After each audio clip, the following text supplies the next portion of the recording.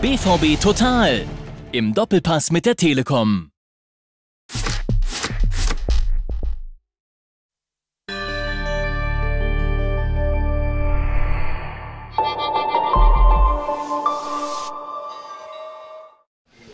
Ja, Matze, ähm, defensive Stabilität ist so ein Schlagbegriff, der in den Tagen von Mabea immer wieder fällt. Ein Thema, was dich als Verteidiger ja auch maßgeblich betrifft.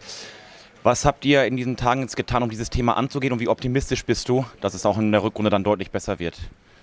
Ähm, ja, ich bin sehr optimistisch, äh, weil wir haben, wir haben viele neue Spieler gehabt am Anfang der Saison, viele junge Spieler und ähm, ja, dazu kamen dann noch die vielen Verletzten. Also es war, war schwierig, sich da oder in manchen Spielen schwierig, sich da ähm, drauf einzustellen, aber wir haben ähm, jetzt in der Zeit hier ja, die Zeit genutzt, um miteinander zu sprechen, ähm, miteinander unsere, ja, unsere Idee mitzuteilen und dass wir, dass wir da natürlich in der, in der Rückrunde gefestigter sind. Und ich bin sehr, sehr zuversichtlich, dass, dass wenn, wir, wenn wir fit bleiben, wenn wir ja, zusammenbleiben, ähm, dass wir da auf jeden Fall ähm, auf, ein, auf einem neuen Level dann in der Rückrunde spielen werden. Will ich nochmal nachhaken, weil gerade in der Defensive ist es ja wichtig, eingespielt zu sein. Jetzt hast du gerade gesagt, ihr, ihr sprecht viel. Wie viel passiert denn auf dem Trainingsplatz und wie viel ist wirklich Sprechen, um sich aufeinander abzustimmen? Ja, es gehört beides dazu. Klar, klar ähm, auch auf dem Trainingsplatz, da gibt es dann die kurzen Kommandos, aber auch außerhalb vom Trainingsplatz, dass man sich mal zusammensetzt, dass man auch ja, als gesamte Mannschaft oder auch mal nur die defensiven Spieler ähm, sich mal zusammensetzen und miteinander sprechen und ähm, auch da einfach auszutauschen, wie, wie die Situationen waren, wie, wie der eine das gesehen hat, wie der andere sich verhalten hat. Und ähm, das gehört einfach dazu, das ist ganz normal. Und ähm, ja, jetzt hoffen wir natürlich, dass, dass es, äh, oder ich bin sehr zuversichtlich, dass es auch äh, besser wird.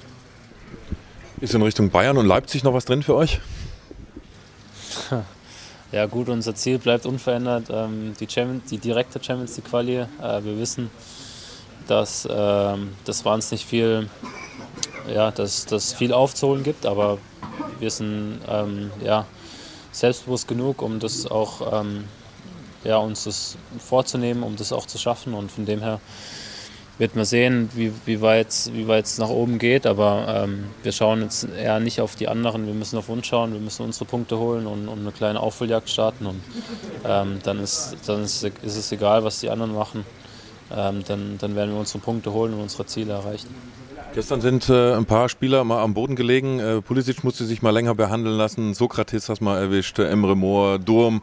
Alle haben mal auf die Socken bekommen. Weht jetzt ein bisschen äh, rauerer Wind? Also hat der Konkurrenzkampf, wo jetzt ja praktisch alle dabei sind, auch aus deiner Sicht so richtig begonnen? Nee, glaube ich nicht. Ich glaube, der Konkurrenzkampf ist schon, schon seit Sommer da. Ähm, es ist einfach die gleiche, ich glaube, das ist die gleiche Intensität wie sonst auch, aber es war halt äh, in den vielen englischen Wochen zum Teil nicht möglich, äh, ja, viel zu trainieren oder oft zu trainieren. Und ich glaube, das tut uns sehr, sehr gut, dass das Trainingslager jetzt mit den vielen Trainingseinheiten, um, um ja, uns, unsere Spielidee weiter besser abzustimmen und äh, da ja, auf ein neues Level zu kommen, weiter voranzukommen. Und ähm, ja, dann kann es natürlich auch mal sein, dass, dass es mal so, dass mal kracht, aber von dem her, ja, kann man, ich glaube, dass, dass, es, dass es niemand absichtlich macht und dass, dass alle ähm, so in Ordnung sind, dass, dass man das ähm, auf keinen Fall absichtlich macht.